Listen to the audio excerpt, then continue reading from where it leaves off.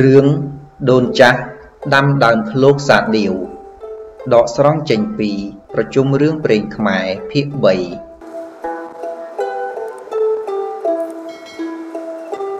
មាននិទានមួយថា មានដូនចាស់មួយដាំឃ្លោកសាដៀវដុះឡើងទើបនឹងបែកសន្លឹកពីរមានបរិសម្នាក់មកដណ្ដឹងទិញឃ្លោកនោះឲ្យថ្លៃមួយកហបណៈហើយដើរទៅលំនៅវិញបាត់ ដូនចាស់រក្សាឃ្លោកនោះលុះឃ្លោកផ្លែមានបរិសម្នាក់ដតីមកដណ្ដឹងទិញឃ្លោកនោះទៀតដូនចាស់ថាឃ្លោកនេះគេទិញអស់ហើយអញលក់ឲ្យចៅម្ដេចបានបរិសនោះថា គេទិញពីកាលណា ដូនចាស់ថាកាលដុះបែកសន្លឹកពីរបរិសនោះសួរទៀតថា គេទិញដូននោះតើគេឲ្យថ្លៃប៉ុន្មានដូនថា កាលគេមកទិញនោះ គេឲ្យថ្លៃមួយកហបណៈបរោះនោះថា គេទិញតែដើមទេឥឡូវខ្ញុំយកថ្លៃឃ្លោកជូនព្រោះបានទិញដូនហើយ ដូនចាស់ថាចៅអើយអ្នកទិញមុនគេយកផ្លែនោះឯងចៅនោះថាលែងតែលក់ឲ្យខ្ញុំចុះខ្ញុំឲ្យថ្លៃដូនពីកហបណៈដូនចាស់អនឹងប្រាក់នោះក៏លក់ឃ្លោកនោះឲ្យទៅ បុរសនោះទិញបានផ្លែឃ្លោកហើយក៏នៅចាំរក្សាឃ្លោកនោះលុះដល់ធំក៏បេះយកទៅធ្វើសាដៀវហើយដេញលេងនៅលំនៅអាត្មាឯងហើយបរោះទិញដើមឃ្លោកអំពីមុនដើរទៅលឺបរោះនោះដេញសាដៀវពីរោះក៏ចូលទៅដណ្ដឹងថា បានឃ្លោកសាដៀវនេះពីណាបរោះដេញសាដៀវថា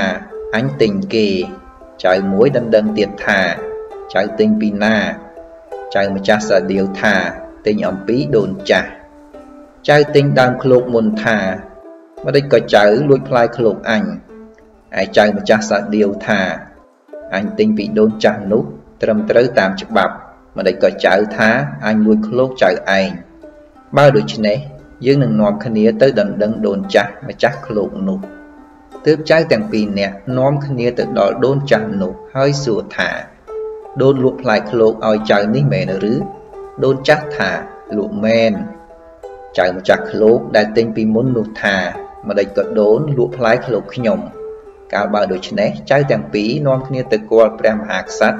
សូមទ្រង់កាត់សេចក្តីនោះទើបព្រះមហាក្សត្រទ្រង់ព្រះចិន្តាពិចារណាហើយមានព្រះបន្ទូលថាព្រះស្ដែងទិញមុនគេនោះទិញតែដើមទេហើយដើរទៅបាត់ទៅពុំនៅរក្សាផ្លែឃ្លោកនោះត្រូវបានទៅព្រះស្ដែងដែលទិញក្រោយនេះឯង ទ្រង់ព្រះវិនិច្ឆ័យដូច្នេះហៅសុគតិកមណាំងហោមបរោះទាំងពីរសុខចិត្តក៏ក្រាបបង្គំលា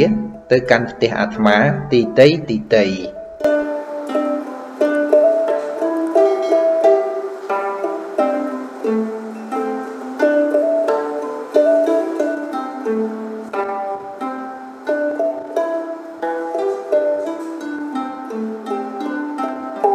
うん。